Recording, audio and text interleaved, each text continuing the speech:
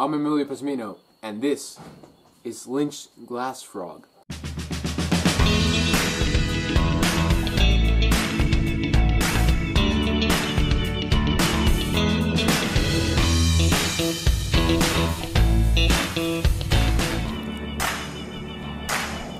Today we're out here in the cloud forest of Mindo, and we were exploring a creek system nearby when we found this amazing amphibian.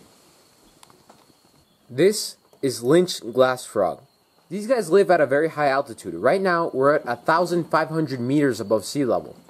You can identify a Lynch glass frog because it has more dark spots on its back than any other glass frog in the region. I want to show you guys why they are known as glass frogs. Look, right now I have this little glass ashtray, but this has really nothing to do with it. But what's really cool about these guys is that if I shine a light through him, you can see his internal organs. The reason glass frogs are see-through is because their skin is very thin and transparent.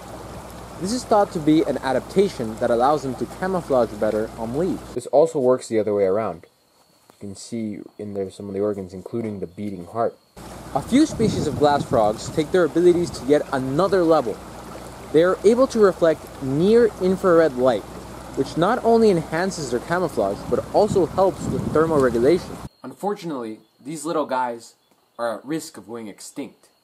Right now, they're classified as endangered.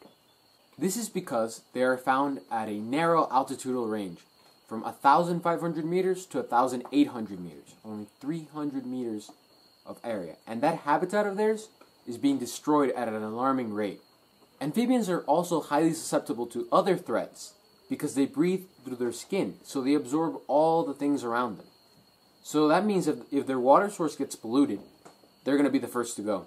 They might also be susceptible to chytrid, which is a type of fungus that has wiped out many amphibian populations in the neotropics in the last few decades.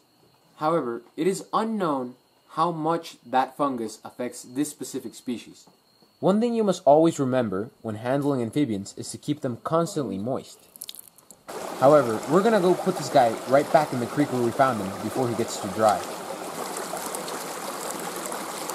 Bueno muchachos, till next time. If you guys enjoyed this video, be sure to leave a like and comment down below. And if you haven't already, subscribe so you don't miss out on any new adventures by clicking the channel icon right above. Or click here to watch another video. And as always, thanks for watching.